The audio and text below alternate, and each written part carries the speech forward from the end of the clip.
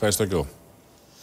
Η ολοκλήρωση του έκτακτου Eurogroup χωρίς κανένα αποτέλεσμα και κοινό ανακοινωθένα, αλλά και οι δυσκολίες στην επίτευξη συμφωνίας για το μεταμνημονιακό μέλλον της Ελλάδας καλύπτονται κυρίες και κύριοι όπως κάθε μέρα τις τελευταίες εβδομάδες εκτενώς από τα διεθνή μέσα ενημέρωσης. Πάμε να δούμε τη σημερινή εικόνα.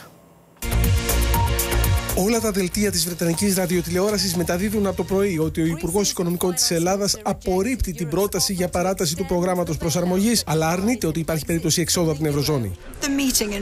Η σύγκληση των Υπουργών Οικονομικών στις Βρυξέλλες προαναγγελόταν ως αντιπαράθεση που θα γεφύρωνε όλες τις διαφορές. Αν και η Ελλάδα έλεγε ότι δεν προτίθεται να υποχωρήσει, κανένας άλλος στο τραπέζι δεν έδειξε διάθεση συνδιαλλαγής. Στη Γερμανία το περιοδικό Der Spiegel βλέπει Ελλάδα και Eurogroup σε δρόμο σύγκρουσης. Μετά τη συνεδρίαση στις Βρυξέλλες, τα μέτωπα μεταξύ της Ελλάδας και των εταίρων της είναι τόσο σκληρά όσο ποτέ γερμανικό κανάλι NTV αναφέρει ότι η ελληνική συνάντηση κορυφής της Ευρωομάδας κατέληξε σε φιάσκο, καθώς οι υπουργοί βγήκαν απογοητευμένοι, χωρίς καμιά απάντηση ή λύση για το ελληνικό χρέος. Ενώ η εφημερίδα Die Zeit γράφει για μια πολύ άτακτη πρεμιέρα. Ο Υπουργός Οικονομικών Βαρουφάκης προσβάλλει στη συνεδρίαση του Eurogroup τους συναδέλφους του και ακυρώνει το τελικό κοινό ανακοινωθέν. Με αυτόν τον τρόπο η Ελλάδα κάνει κακό στον εαυτό της. Στην Ιταλική τηλεόραση, ο Πρωθυπουργός Ματέο Ρέντσι λέει ότι θα ζητήσει τείχος προστασίας έναντι της ελληνικής κατάστασης. Αλλά εξηγεί πως η αληθινή μάχη γίνεται για να αλλάξει η οικονομική πολιτική της Ευρώπης με περισσότερη έμφαση στην ανάπτυξη. Δώστε στην Αθήνα περισσότερο χρόνο, ζητάει σχολιαστής της εφημερίδας Frankfurter Allgemeine Zeitung. Τζογάρισε πολύ. Δεν κατάφερε τίποτα. Δεν ευθύνεται μόνο η Ελλάδα για την αποτυχία των διαπραγματεύσεων. Η Ευρωπαϊκή Ένωση πρέπει να κινηθεί. Το δίκτυο Euronews ασχολείται με τον αντίκτυπο από το διαφαινόμενο αδιέξοδο των διαπραγματεύσεων Ελλάδα-Ευρωπαϊκή Ένωσης. Εάν δεν επιτευχθεί συμφωνία, η Ελλάδα μπορεί να εξαναγκαστεί να βγει από την Ευρωζώνη. Αν και οι περισσότεροι Έλληνες θέλουν την παραμονή, ορισμένοι φαίνεται να υποστηρίζουν επιστροφή στη δραχμή. Στη Βρετανία, η εφημερίδα Guardian έχει τίτλο Ελλάδα και Ευρωζώνη σε αδιέξοδο για το βάρος του χρέους. Για τους Financial Times, οι συνομιλίες για το ελληνικό πακέτο διάσωσης καταραίουν. Έπειτα από έξι ώρες συνομιλιών, απέτυχαν ακόμη και να συμφωνήσουν σε έναν τρόπο για να προωθήσουν τις διαπραγματεύσεις.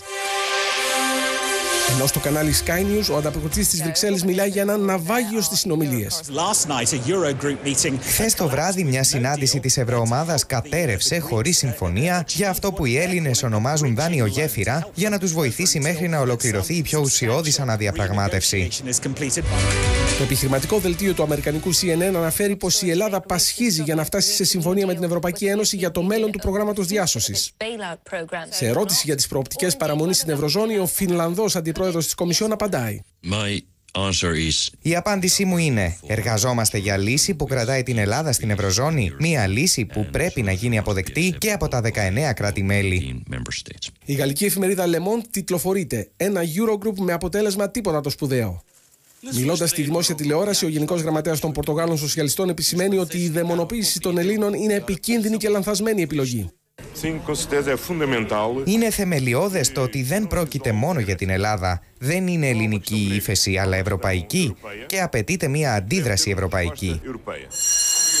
Την ίδια ώρα, ο Πορτογάλος Πρωθυπουργός δέχεται ανοιχτή επιστολή από 32 συγγραφείς, οικονομολόγους, ποιητές και πανεπιστημιακούς που του ζητούν να συνηγορήσει ώστε να αλλάξει η πολιτική λιτότητας που απειλεί την Ευρώπη με οικονομική συρρήκνωση.